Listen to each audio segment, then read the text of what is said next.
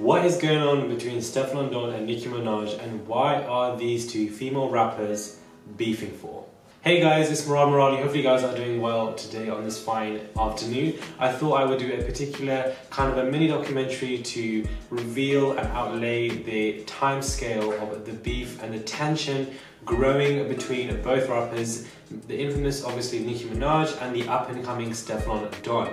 Now, these two have been on the rocks, especially for the past year, and things and friction are slowly, slowly increasing especially with the likes of Miss Banks and so forth entering the scene and you know taking sides and obviously Steph has clearly taken Cardi's side. But this really took place uh, a year ago around October 2018 um, less than a year ago to be honest. And I thought I would just simply touch on it and just outlay and talk about it and see what your guys thoughts are if you have taken a side between these two and what you guys think of this ongoing tension between the two and if it's good for up and coming rappers like Stefflon Don. So obviously Stefflon has just, she jumped into the Nicki Minaj and Cardi beef and she obviously picked a side and she appeared to be on team Cardi B. She obviously um, responded to Nicki Minaj's comment on a post by American blog The Shade Room. Obviously we all know about the ongoing beef between Nicki and Cardi which took place online and Stefflon obviously decided to input herself into the beef where she responded to Nicki Minaj's comments on a post where, you know, obviously we all know the shade room, where Nicki Minaj says, stop trying to distract everyone about the fact that you lied about Rah beating your head in. We all get deals and tandem down, etc., etc. To which Stefflon Don herself got involved and said, you are a big grown woman talking about beating someone's head, head in. Queen, I'm disappointed in you. So many people look up to you. Show us better. Now, obviously, this led to heavy, heavy backlash from Nicki Minaj's fans on Instagram, who literally flooded the comments on all her posts. And at this point of time, Stefflon Don just did not care about it. She had no regrets and she stood by what she had said. And she said, these people are crazy, the way I love to slap one of them. Steph says what the F Steph wants to say. Do I look like a puppet?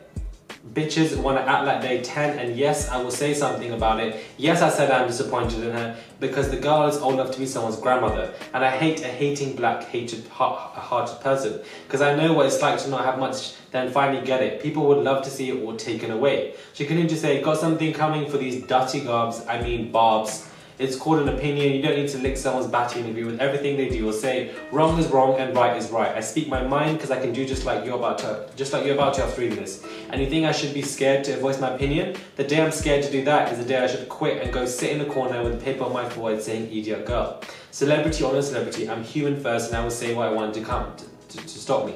Now, obviously, Stefflon is entitled to her opinion, but the question is, is this logical? And obviously, you know, there are obviously two sides to every situation, and by taking Cardi B's side, we've also known that she's obviously quite a bit of a colorist from the comments she's making and the crime that she's committed in the past. So at this point of time, this obviously is quite tricky. This obviously is a bit interesting because Stefflon Don has been, you know, flirting away with Drake online back in the day. Now she's dating Burna Boy, but at the point it was a bit like, you know, Nicki Minaj is very good friends with Drake, and now we have this particular person who has come from Nicki Minaj and is now constantly even flirting with Drake, Nicki's good friend, a couple days afterwards. Now, since then, there has been obviously friction between rappers, friction between the kind of female rap game, crossing over the pond from both the UK and the US, where we obviously have Miss Banks expressing that she obviously takes Nicki Minaj's side, and we've obviously had um, Stefflon Don, who has expressed in these posts that she's obviously taking Cardi B's side. So that in itself causes friction for female rappers here. Prevents them from obviously interacting with each other and, you know, being on good terms because you're always going to have that kind of friction. Now, do you agree with Stefflon Don and do you feel like she was being a bit immature? Because I feel like this particular beef is something that I wanted to highlight and talk about simply because it is slowly growing and growing and growing. And I thought I would just explain it between these two because really and truly I feel like it's unnecessary. I don't feel like it was logical for Stefflon Don to get involved. But however, she is right and to the extent that everybody is entitled to their opinion and everybody is entitled to express it or not express it if they want to. Let me know what your thoughts are on this growing beef between these two artists. Do you agree with it? Do you disagree with it? And you know, what side are you on? And comment down below. This friction between these two that started around late last year is now obviously growing slowly and slowly. And we have, you know, Stefflon Don throwing her jabs and so forth. She's obviously doing great and well in the UK scene and is very up and coming. Probably one of the biggest rappers from the UK current date right now. I don't think anybody else is putting out any as many tracks. But let me know what you guys think and I'll definitely catch you guys soon.